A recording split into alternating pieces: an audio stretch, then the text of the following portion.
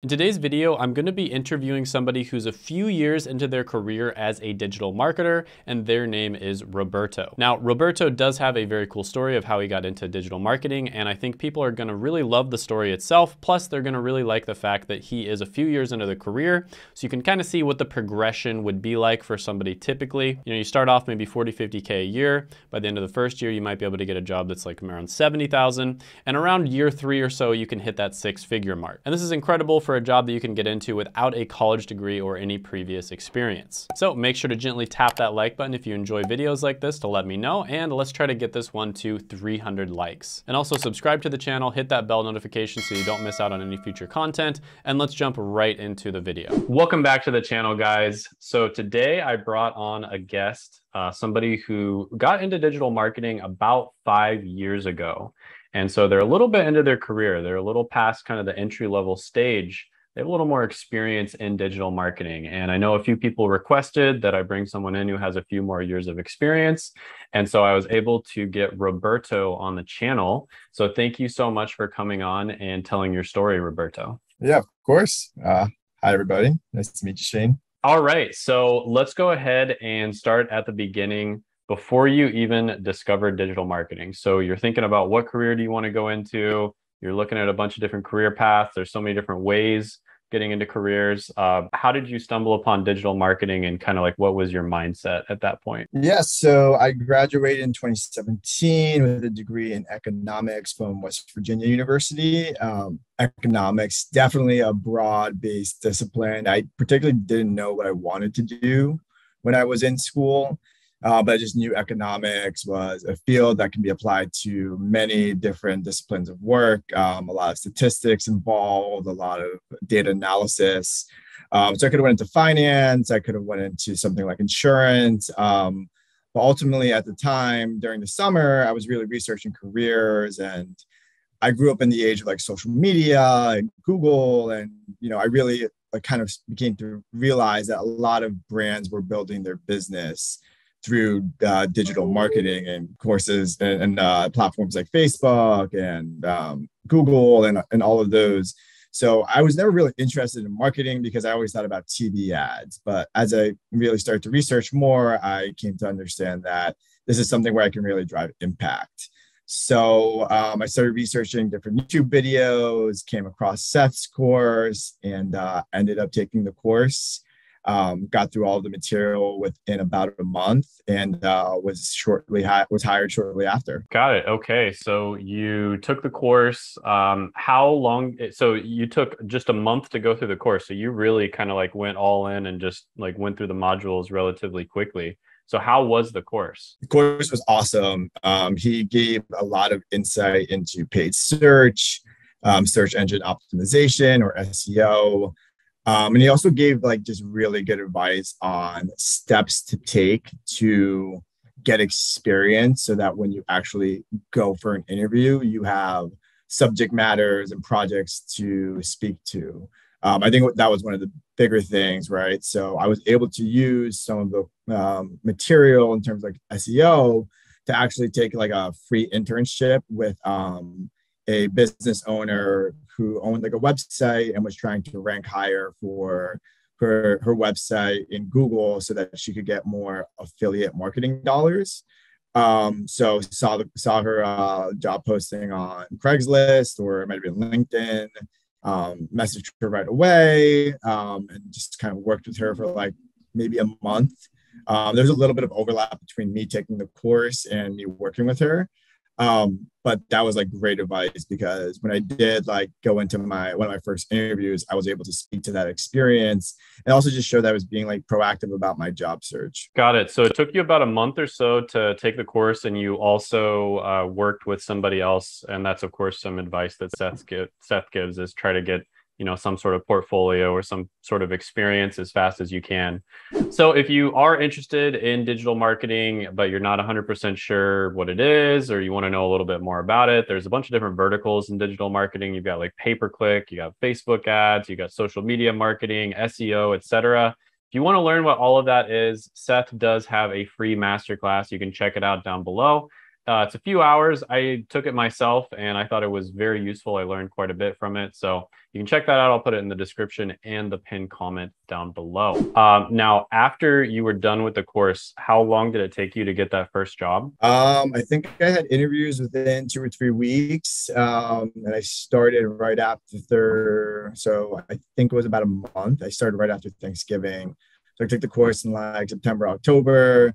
So uh, I pulled the trigger, um, took the course in a month. So it was like mid October when I started, when I ended it, started freelancing. Then I had a couple of interviews and I started right after Thanksgiving of 2017. Wow. That's that's pretty remarkable. Pretty much one month to get a job. That's uh that's not bad at all. Two months after you started the course. So um, I mean, a lot of the time, even with careers that are in high demand, like these boot camps and stuff, they say like 18 months sometimes like okay you know the boot camp takes like nine months and then another nine months to get a job. So uh, that's pretty amazing. He was able to get you a job in, in two months and and obviously you know you you did most of it but with the help of the course. Um so let's go ahead and if you don't mind let's talk a little bit about salary. So uh you know you can share whatever you're comfortable with but you know i'm kind of interested how much do people expect to make kind of entry level and then maybe a year or two years in and then maybe five years down the line uh, kind of how much would people expect to make? And you can also speak on your own personal experience if you're comfortable. Yeah definitely. Um, so the good thing about digital marketing is that there's so much demand for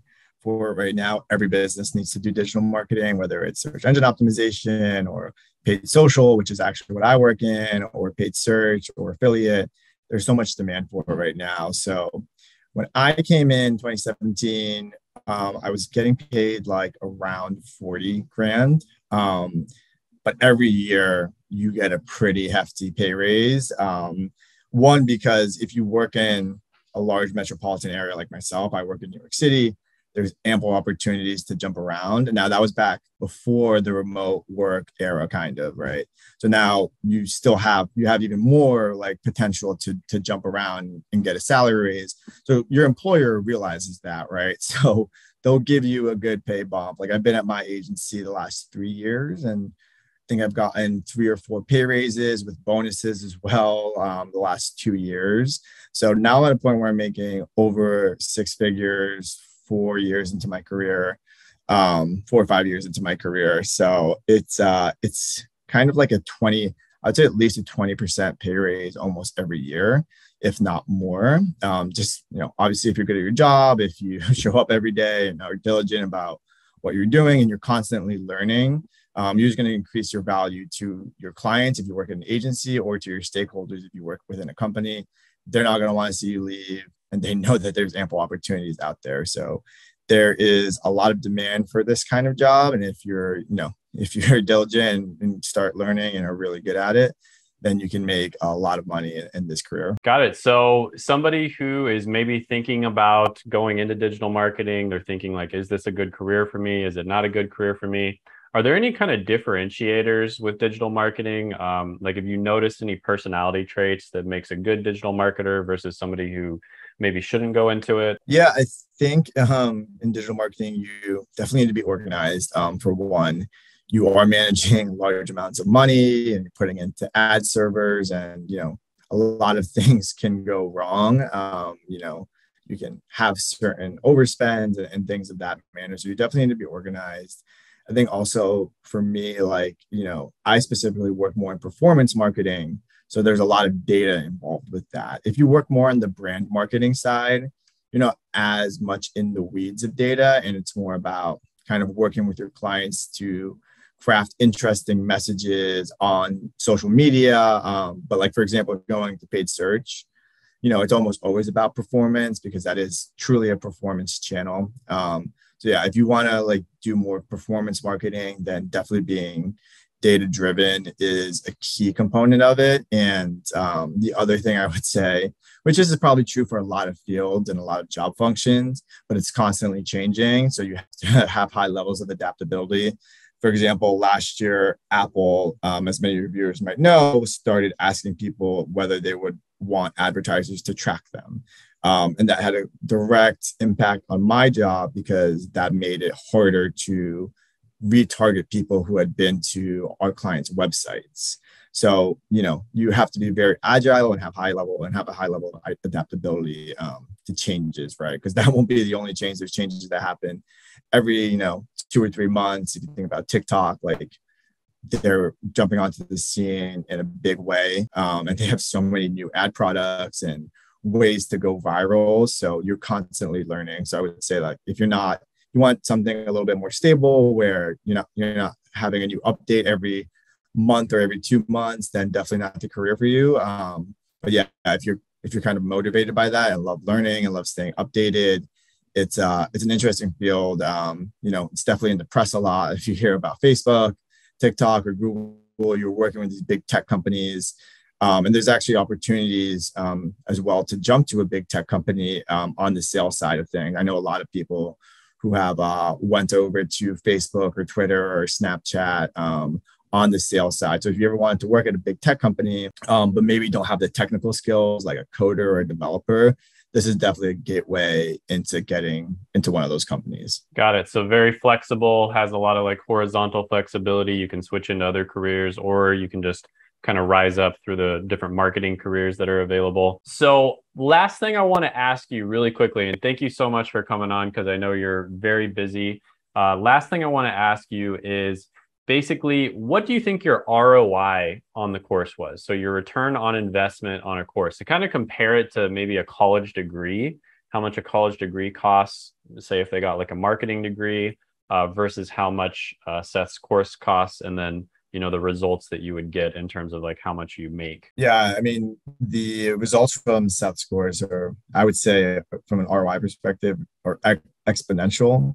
Had i not taken the course would i have started a career in digital marketing? Kind of hard to say on that front. He definitely guided me into getting a freelance position and really being able to speak the language and learn about paid search and seo in a very formatted way. Um, so I think the ROI is probably more than 100x if I if I think about it. And when you compare it to a college degree, which is you know can cost upwards of 200 grand, um, it's it doesn't even really compare. I still think that you know some places, um, some companies do require a college degree, so it's still good to get that college degree if you can.